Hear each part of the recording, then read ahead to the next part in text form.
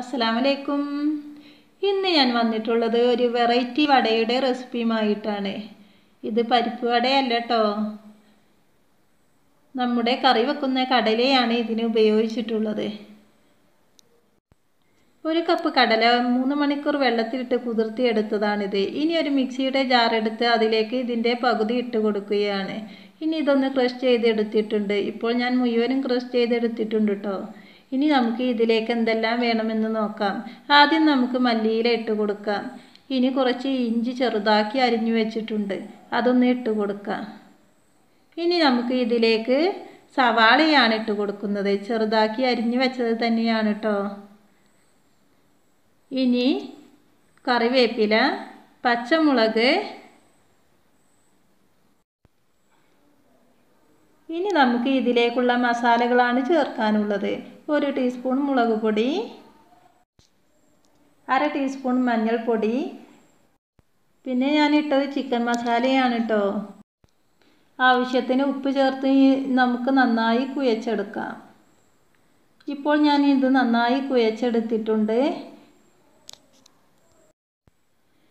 കയ്യിൽ ഞാൻ കുറച്ച് എണ്ണ പുരട്ടിയിട്ടുണ്ട്. ഇത് മാവ് കയ്യിൽ ഒട്ടി പിടിക്കാതിരിക്കാനാണ് ഇനി നമുക്ക് ഇതൊന്ന് ഉരുട്ടിയെടുക്കാം. നല്ലോണം പ്രസ് ചെയ്ത് വേണം ഉരുട്ടിയെടുക്കുമ്പോൾ.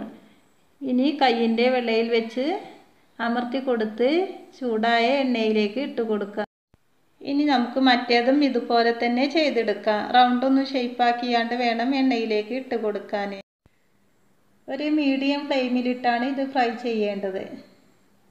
ഇതുപോലെ നമുക്ക് എല്ലാം ഇട്ട് കൊടുക്കാം.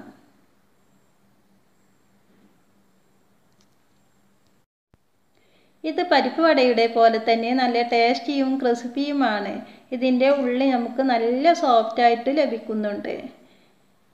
ഇതുവരെ ഇത് ചെയ്യാത്തവർ ഒന്ന് ട്രൈ ചെയ്ത് നോക്കണേ.